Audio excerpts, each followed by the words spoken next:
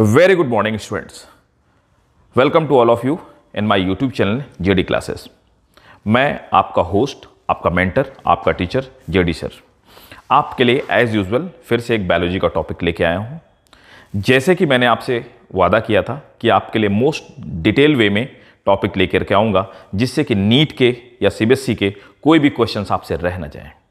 तो फिर से मैं फंजाई किंगडम में सबसे पहले मैंने आपको फंजाई के फीचर्स बताए। लास्ट वीडियो में आप देख रहे होंगे कि मैंने आपको बताया कि फंजाई में एसेक्चुअल रिप्रोडक्शन कैसे होता है। आज मैं लेकर के आया हूँ फंजाई का sexual reproduction in fact type of the sexual reproduction that takes place in fungi right तो हम इसके साथ स्टार्ट करेंगे, लेकिन स्टार्ट करने से पहले ये कहना चाहूँगा, अगर आपको मेरे वीडियो अच्छे लगे हों, अगर ये इन्फॉर्मेटिव लगे हों, अगर ये आपको इंपॉर्टेंट लगे हों, और अगर आपको लगता हो कि सच में मोस्ट डिटेल वीडियो हैं प्लीज़ आप इसको एक बार देखिए और इसके बाद अगर ये सब फैक्टर आपको महसूस हो रहे हो तो प्लीज़ लोगों के साथ शेयर कीजिए लाइक कीजिए सब्सक्राइब कीजिए, जिससे कि मुझे भी मोटिवेशन मिलता रहे।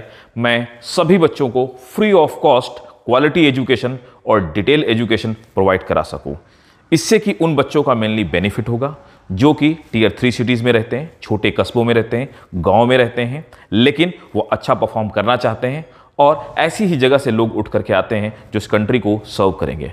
So with this vision with this mission please आप मेरे इस मिशन को ज्वाइन कीजिए और ज़्यादा से ज़्यादा लोगों तक इसको शेयर करवाइए राइट तो स्टार्ट करते हैं अपने टॉपिक के साथ में। जैसे कि मैंने यहाँ मेंशन कर रखा है ये हमारा किंगडम फंजाई है। फंजाई में सबसे पहले मैंने आपको पढ़ाया फंजाई के जनरल फीचर्स क्या होते हैं कैरेक्टरिस्टिक क्या होते हैं। अगर आपने नहीं देखा तो डिस्क्रिप्शन बॉक्स में जाइए और उस वीडियो को देखिए।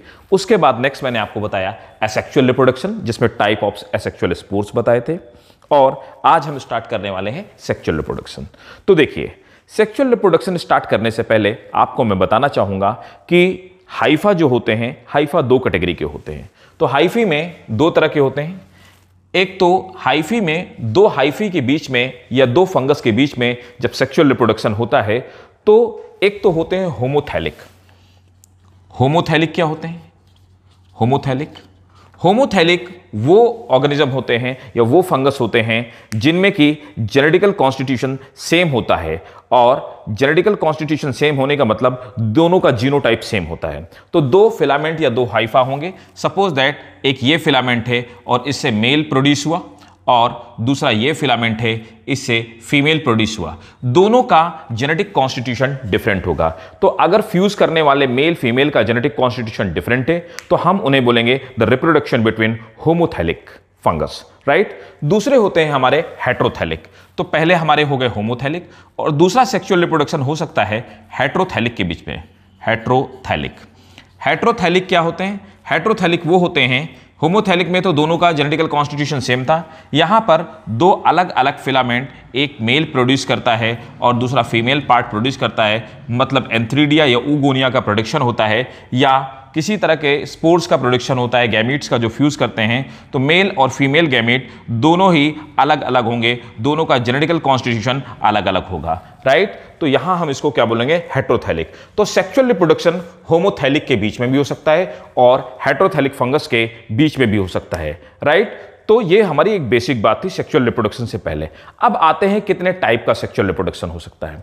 राइट तो देखिए सेक्सुअल रिप्रोडक्शन कितने टाइप का हो सकता है, उससे ये पहले मैं आपको बताना चाहूँगा इट्स वेरी इंपॉर्टेंट क्वेश्चन तो होमोथैलिक हेट्रोथैलिक के बाद एक ऐसा भी फंगस है जिसमें कि सेक्सुअल रिप्रोडक्शन रिपोर्टेड नहीं है या मिसिंग है। अब उसे हम कहते क्या हैं और क्यों कहते हैं, ये देख लीजिए। तो देखिए ड्यूटेरो माइसिटीज ड्यूटेरोमाइसिटीज को आपने पढ़ा होगा, इसे हम लोग कहते क्या है? पूछा जाता है कि फंजाई इम्परफेक्टाई किसको कहते हैं? ड्यूटेरोमाइसिटीज को हम लोग कहते हैं fungi imperfecti imperfecti fungi imperfecti इसलिए कहते हैं क्योंकि ये फंजाई जो है, इसमें स्टेज इम्परफेक्ट है।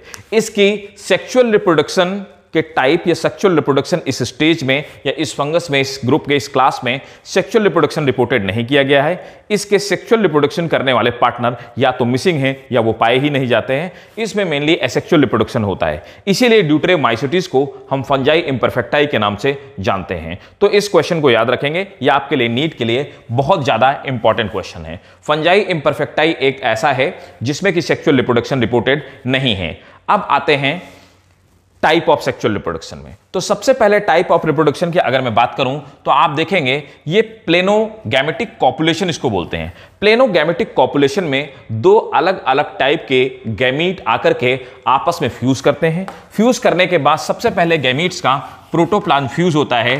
तो सबसे पहले क्या होती है? प्लाज्मोगैमी प्लाज्मोगेमी का मतलब होता है, दोनों गैमीट फ्यूज हो गए, इनकी वॉल्स फ्यूज हुई, उसके बाद प्रोटोप्लाज्म का फ्यूजन हुआ और प्लाज प्रोटोप्लाज्म फ्यूज हो गया, इसको प्लाज्मोगेमी कहते हैं। उसके बाद मेल और फीमेल की न्यूक्लियस आपस में फ्यूज होकर के डिप्लॉइड न्यूक्लियस का फॉर्मेशन करती हैं और जाइगोस्पोर या जाइगोट का फॉर्मेशन करती हैं। तो पहले प्लाज्मोगेमी होती है, उसके बाद न्यूक्लियस फ्यूज होती है, इसको हम बोलते हैं कैरियोगेमी कैरियोगेमी कैरियोगेमी होने के बाद, न्यूक्लियस फ्यूज होने के बाद, जाइगोस्पोर का फॉर्मेशन होता है। जाइगोस्पोर एक तरह से जाइगोट है and this will be two n तो डिप्लॉइड जाइगोस्पोर का फॉर्मेशन होता है। और फर्दर फिर से, अगर फंजाई हैप्लॉइड है तो रिडक्शन डिवीज़न होगा, और नए माइसिलिया या फिलामेंट का फॉर्मेशन होगा। अब ये भी तीन कैटेगरी का हो सकता है। अगर दोनों ही गैमिट फिजिकली देखने में एक तरह से हैं फिजियोलॉजिकली मतलब मोशन दोनों में एक जैसा है, दोनों की एक्टिविटी मेटाबॉलिक रेट एक जैसी है। तो अगर फिजिकली और फिजियोलॉजिकली एक जैसे हैं तो दोनों गैमिट एक जैसे होने की वजह से इस टाइप को हम बोलेंगे आइसोगैमी तो प्लेनोगैमेटिक पॉपुलेशन आइसोगैमस हो सकता है, जिसमें दोनों गैमिट एक जैसे होंगे। दूसरा होता है एनाइसोगैमी एनाइसोगैमी में क्या होता है कि फिजिकली और फिजियोलॉजिकली भी दोनों अलग अलग होते हैं। फिजिकली कैसे? मेल गैमिट आपका छोटा होगा फीमेल गैमिट लार्जर होगा साइज़ में, और साथ में फीमेल गैमिट लेस मोटाइल होगा। फ़ूड ज़्यादा इसमें एक्यूमुलेट हुआ हुआ होगा और प्रोटोप्लाज्म इसका ज़्यादा डेंस होगा। और इसे बोलते हैं एनाइसोगैमी जिसमें दोनों ही गैमिट डिफरेंट होते हैं।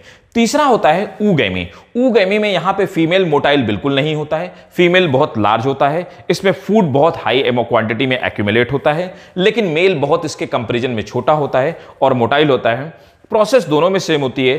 तीनों में सेम होती है। पहले प्लाज्मोगैमी फिर कैरियोगेमी, उसके बाद जाइगोस्पूर का फॉर्मेशन तो ये था हमारा planogametic copulation planogametic copulation mainly उन फंजाई में होता है जो एक्वेटिक फंजाई होते हैं। राइट अब आते हैं दूसरे में गैमिटेंजियल कॉन्टेक्ट गैमिटेंजियल कॉन्टेक्ट में क्या होता है?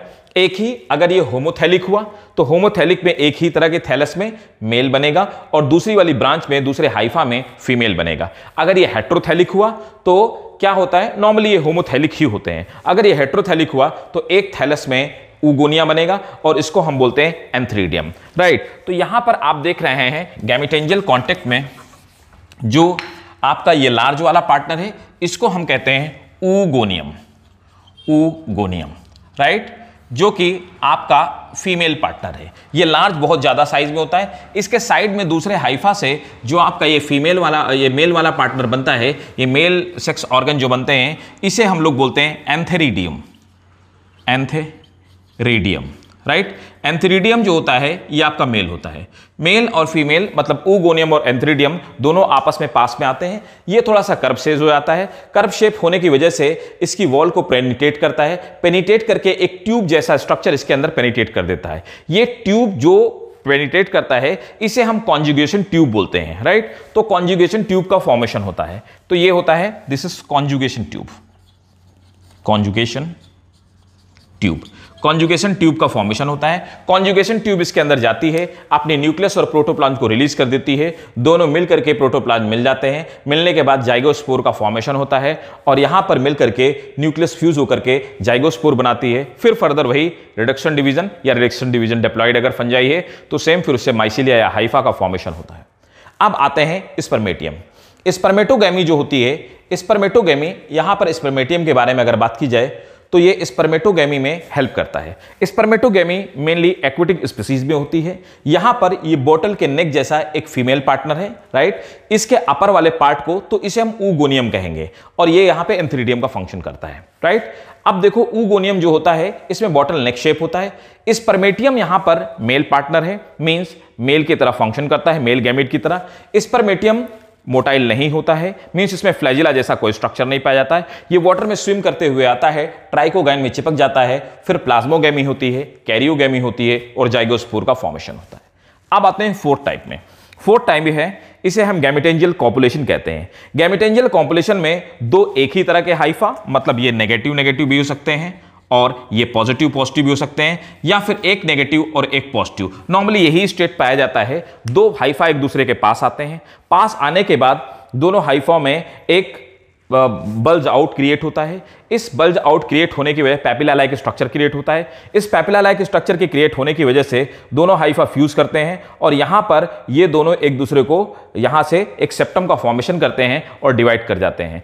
एक सेल की तरह बिहेव करने लगते हैं। उसके बाद ये मेल और फीमेल मीन्स प्लस और न्यूक्लियस दोनों के बीच में प्लाज्मोगेमी होती है और कैरियोगेमी होती है। प्रोटोप्लान फ्यूज हो जाता है और इस फ्यूजन की वजह से यहाँ पर जाइगोस्पोर का फॉर्मेशन होता है। जाइगोस्पोर बाद में सेपरेट हो जाता है और डिवाइड करके नए फंगस का फॉर्मेशन करता है। इसे हम गैमिटेंजियल कॉपुलेशन कहते हैं और गैमिटेंजियल कॉपुलेशन में वही एंथ्रीडिया और उगोनिया का फॉर्मेशन होता है। इस प्रोसेस को हम लोग गैमिटेंजियल कॉपुलेशन को इसे हम कॉन्जुगेशन के नाम से it's a type of conjugation इसे भी हम कॉन्जुगेशन या गैमिटेंजियल कॉन्जुगेशन भी कहते हैं। तो ये कॉन्जुगेशन का ही एक टाइप है। उसके बाद आते हैं सोमेटोगेमी सोमेटोगेमी में क्या होता है? दो सोमेटिक हाइफा होते हैं। दोनों सोमेटिक हाइफा में एक इन दोनों को हम प्राइमरी माइसिलियम बोलते हैं। जो फ्यूज करने वाले हमारे हाइफा होते हैं, इन्हें हम प्राइमरी माइसेलियम के नाम से जानते हैं। प्राइमरी माइसेलियम एक को हम पॉजिटिव कहते हैं और दूसरे को नेगेटिव कहते हैं। दोनों माइसेलियम आपस में पास पास आते हैं।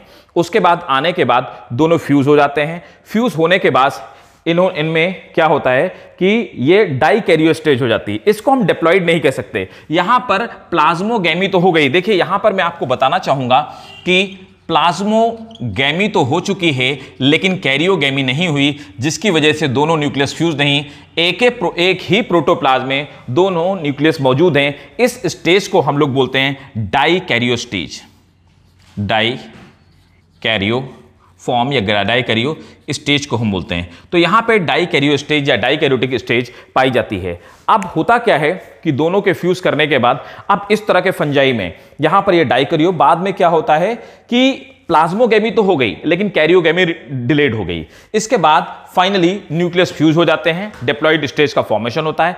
ऐसे फंजाई में लाइफ स्टेज तीन तरह की होती है।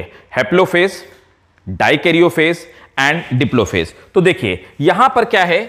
इस तरह के फंजाई, जिनमें डाई कैरियो स्टेज पाई जाती है या डाई कैरियोगेमी मीन जो सोमेटोगेमी को फॉलो करते हैं, इनमें एक तो होती है आपकी हैप्लोफेज हैप्लोफेज वो जिसमें यहाँ पर हैप्लॉइड माइसिलियम पाए जाते हैं। दूसरी फ़ेज़ स्टेज होती है डाई कैरियोफेज तो डाई कैरियो फ़ेज़।